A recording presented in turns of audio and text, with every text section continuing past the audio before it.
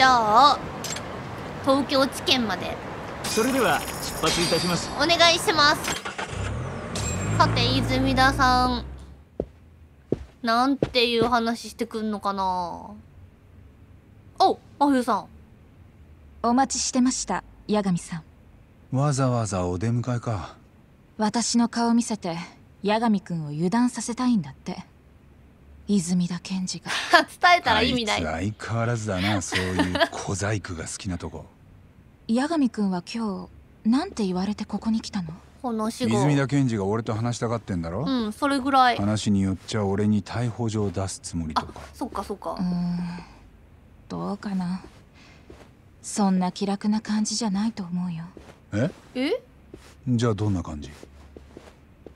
例えば集団リンチでも始めるみたいな。え？おいおいちょっと。泉田さん。頑張ってね。一人なんやろ？でも。失礼します。八神さんをお連れしました。ご苦労さん。え？なんかいっぱいいる。4人。検事生までいるんだ。ほんまやな。どうぞ。検事生までいるし両脇のお二人は？なるほど集団リンチか。あんた方はみんな検事さん？八神先生黒岩刑事から聞いていると思いますが新谷弁護士が殺害された件でお呼びしました。はい。ただしこれは非公式な場です。まあお互い知らない仲じゃないですし軽く雑談するつもりで。わかりました。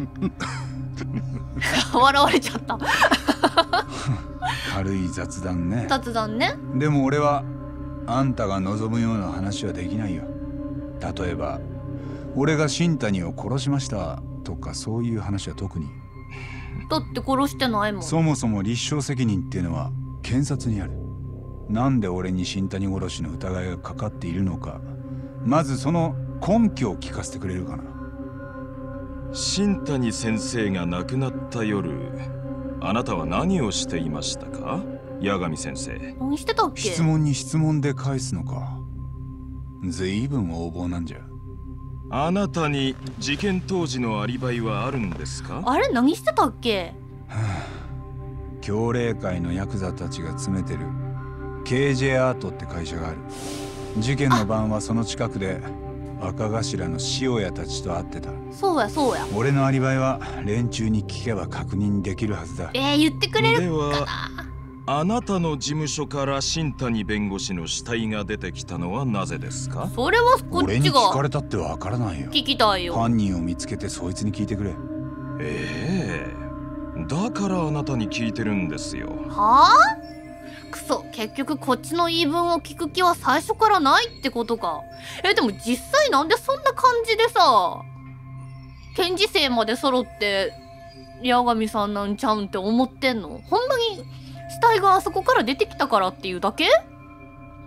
あとさ八神さんなんか泉田検事、ま、丸め込んで味方にしちゃおうぜみたいな話前源田法律事務所で言ってたけど作戦何にもうち聞いてないねんけど。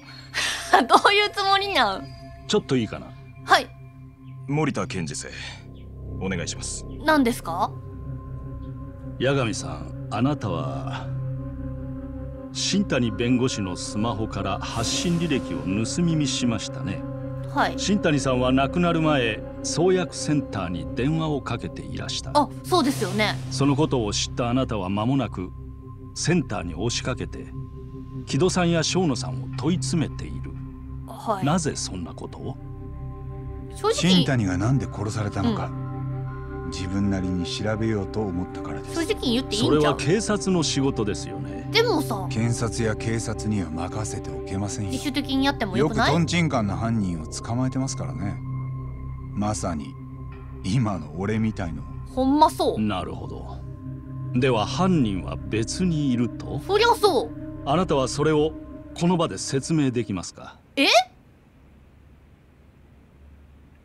いやえいやもちろんドストレートに言いたいのはまあそれをすんのはそっちでしょう。こっちがやることじゃなくないっていう気持ちはめっちゃあんねんけどまあやらんとなあ全然頼りになりそうにないから検事生ようわからんけど少なくとも泉田さんは全然信用してないし。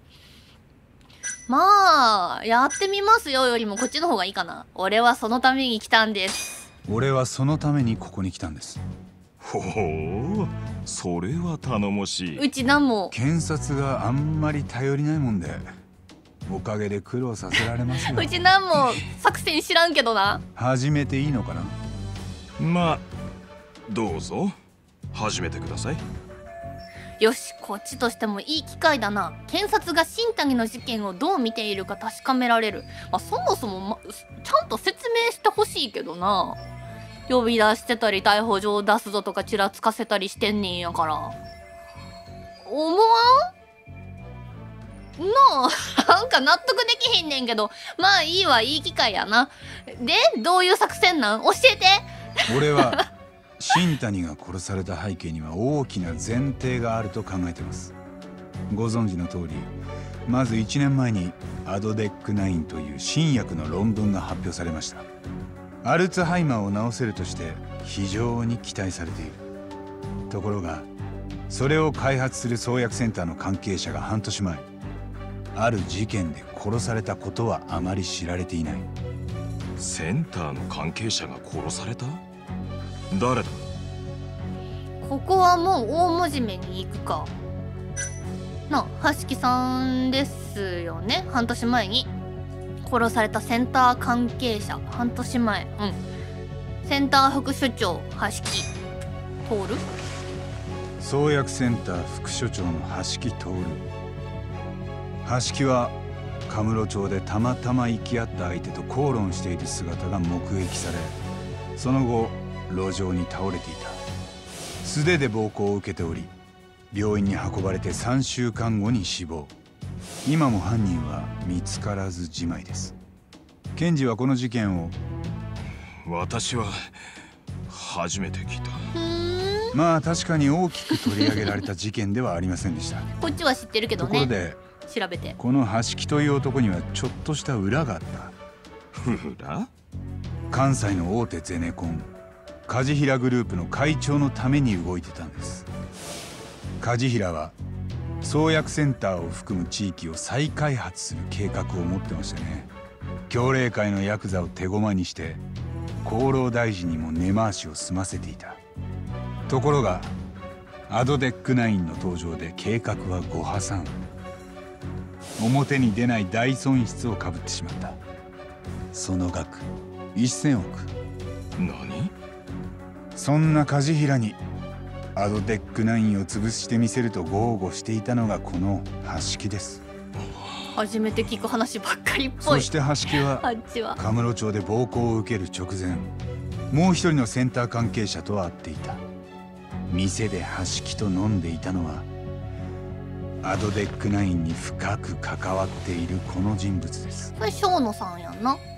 橋木が殺される直前に会っていたセンターの関係者は？うんまあ生野さん。うん。大真面目にここは行きますね。センター研究員生野。泉田検事は見覚えがあるはずだ。彼は3年前にセンターで起きた事件の目撃証人だった。あの事件ですよ。生前の被害者枠という老人を見たと証言していた。覚えている。生野って研究員だ。うん。なあ。そしてアドデック9の開発ユニットリーダーでもある。この生野に橋木はアドデック9の論文には何か問題があるはずだと詰め寄っていた。問題というのは？例えばデータの捏造や薬の効果のでっち上げ。そもそもアドデック9は創薬センターの閉鎖話が出た途端突然センター長の木戸から発表されたものです。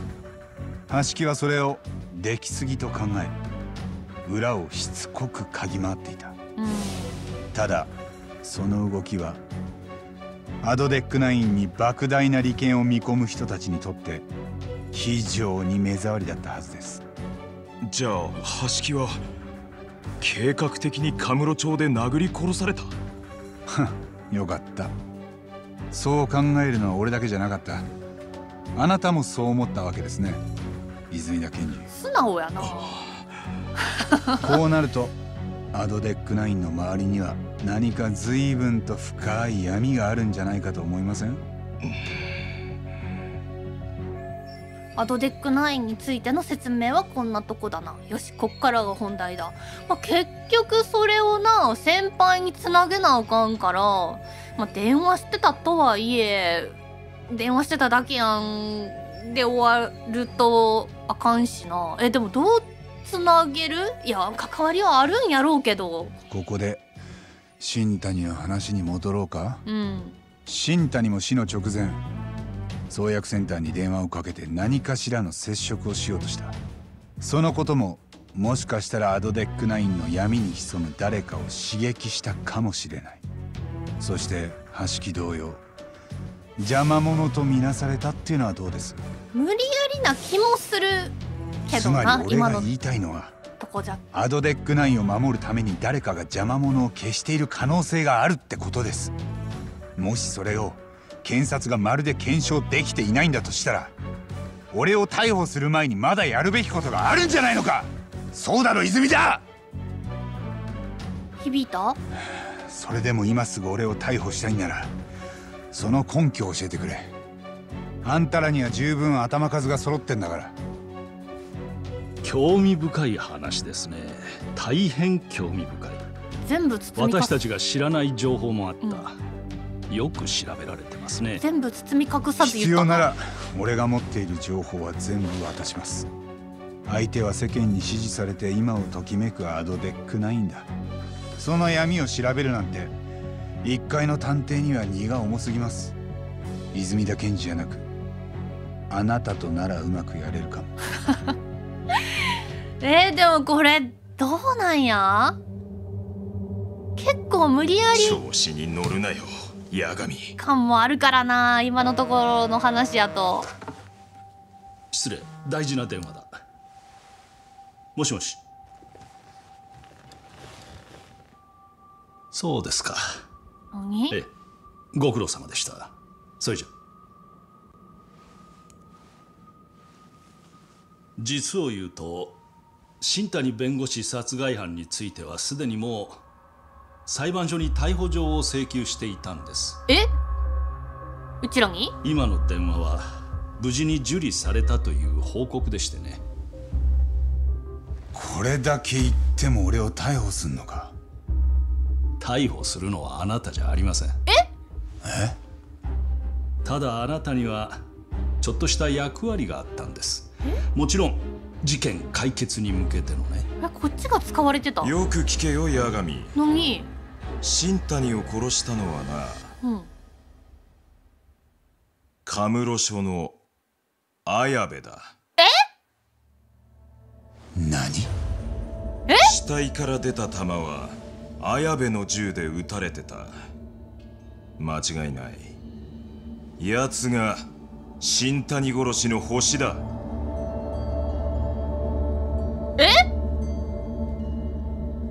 いや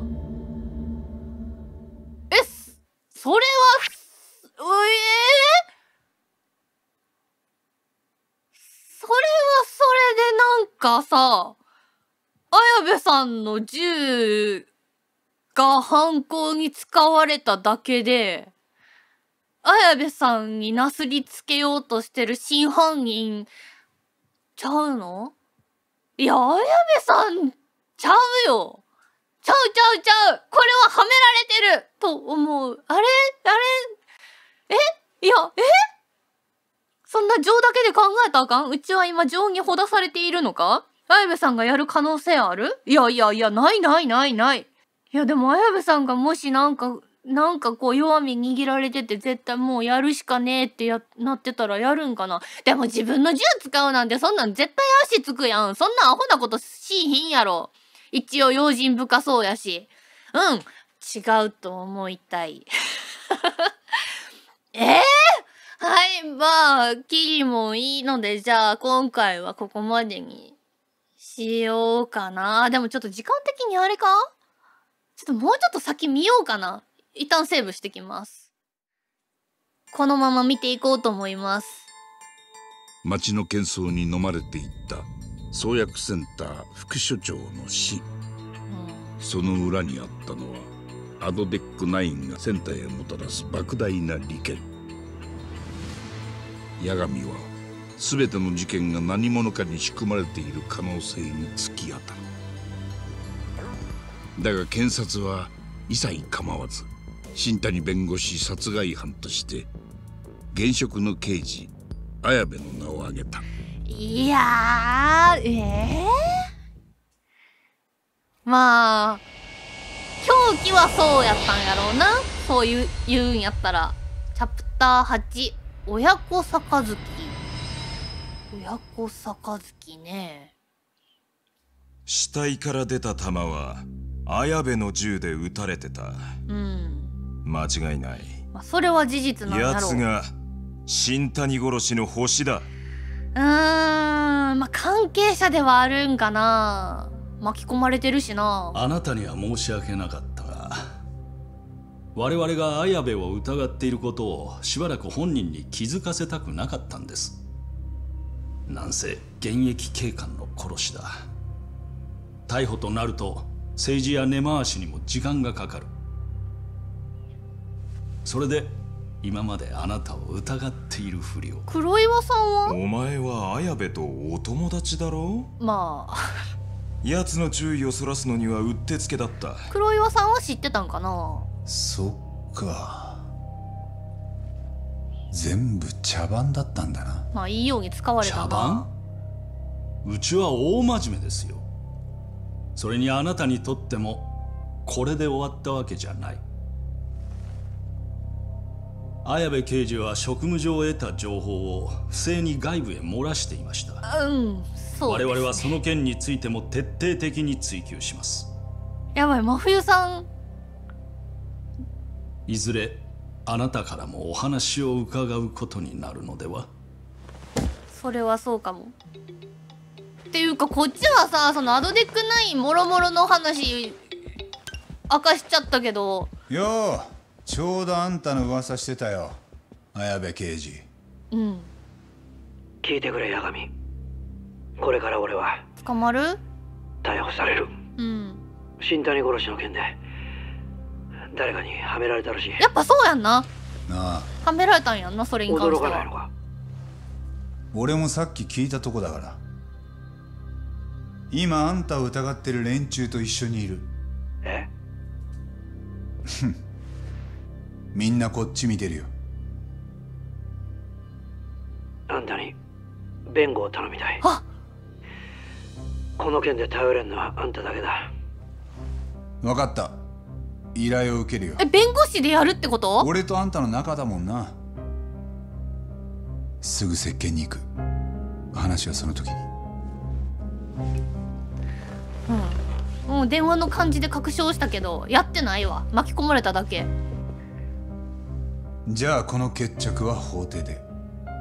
そっちの担当は？泉田検事楽しみにしてる。あ泉田さんなんでもあんたは誰かさんの操り人形だろ俺の本当の敵は？検事正か。その誰かさんだ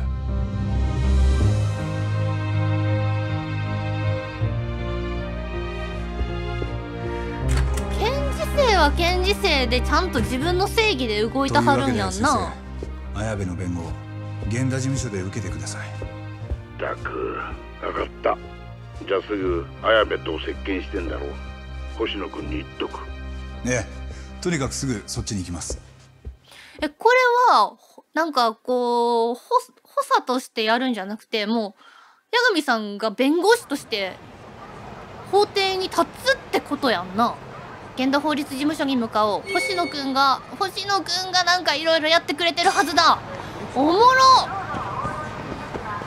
面白くなってきた。いや綾部さんにはちょっと失礼かもしれんけど。いやでもあの電話で確信したけどうん。綾部さんはほんまにやってないですね。やってない。うん。一瞬疑ったこと謝らな。え嘘って。弱みでも握られたって。あれ？え？サブストーリーすぐそこにあったりまた増えてんな増えてるなパッと見3つかうん別にここのマップで確認できる感じはしいひんけど。うんパッと見3つですね。でもちょっと待ってこの流れは止めたくないかも。もうちょっとメインストーリーやりたい。あでもうちこれそっか続きでずっと撮ってるんか。ちょっとキリいいというかある意味良くないけどちょっと今回のパートはここまでにしようと思います。で次回はちょっとなこの流れのままメインストーリー進める予定でいますがどうなるか分かりません。ということでここまで見てくださってどうもありがとうございました。また次のパートもよろしくお願いします。いやー面白 面白くなってきましたね。ではではまたね。バイバーイ。いや面白くなってきたっていうよりずっと面白いけどな。